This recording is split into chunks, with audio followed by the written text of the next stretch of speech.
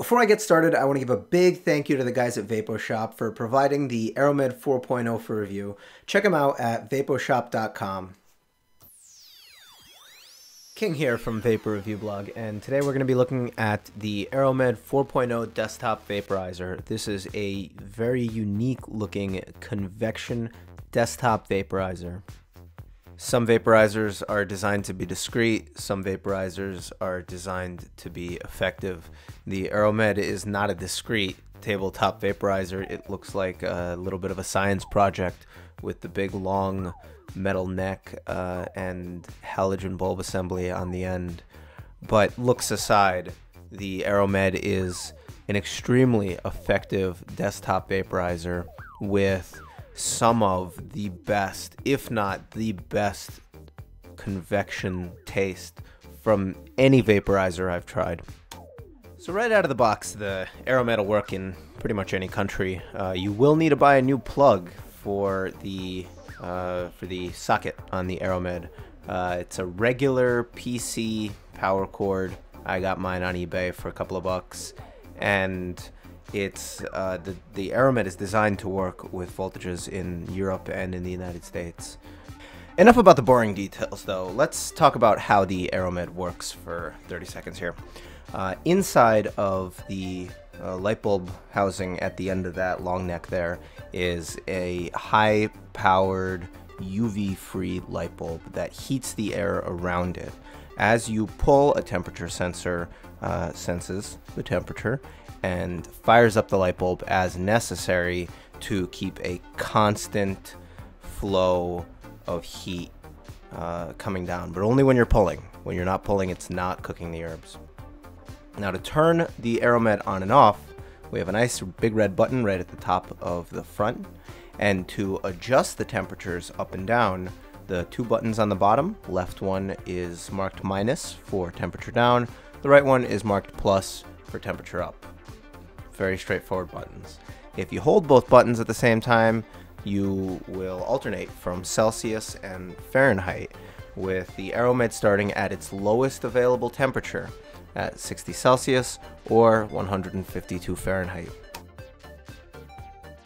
So what I'm going to do now is bring the AroMed up to 380 degrees and see if I can't get that light bulb to fire up. Now one way of doing it would be to uh, pull through the hose and lower the ambient air temperature around the temperature sensor.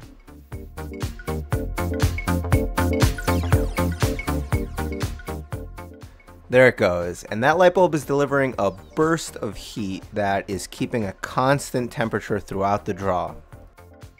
One of my biggest gripes with the AroMed is how the herb holder connects with the light bulb assembly. Uh, while the light bulb assembly is cool, there is an audible click as it connects to the herb holder.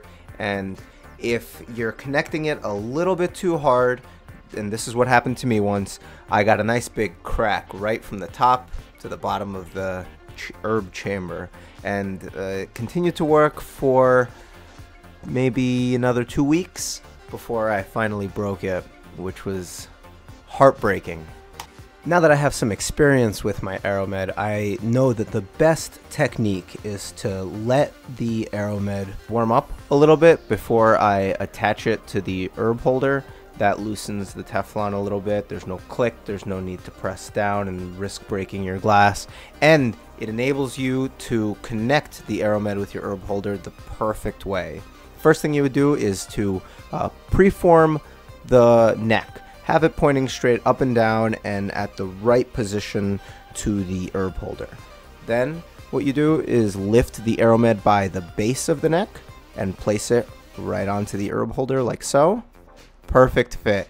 There's no need to press down. There's no need to snap pieces together. I had to cut that audio stream. I was rambling a little.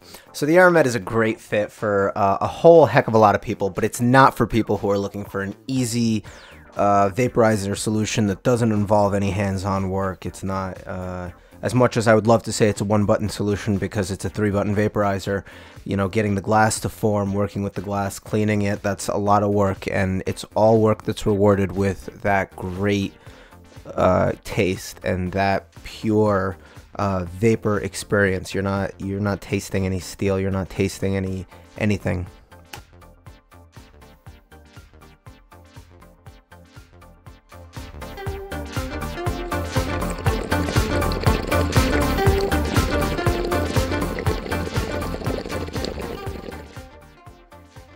that pretty much wraps this review up. The AroMed is definitely one of my top desktop vaporizer choices uh, for, for multiple reasons, not to mention how much I love showing it off to people. It's a very hands-on experience, and I encourage anybody who has uh, an interest in, in not just uh, the vaporizables, but, but vaporizing and vaporizers, to do yourself a favor and check out the AroMed. More information as well as a link to where you can buy the AroMed will be included in the notes below. My first video review and there's a lot to learn and when you're learning everything at once everything gets a little jumbled up and I start rambling and I'm recording audio over audio and video over video. Definitely leave some feedback, tell me what you liked, what you didn't like, what you'd like to see in the future. And don't forget to let me know if you guys see any super cool or interesting looking vaporizers that maybe I don't know about.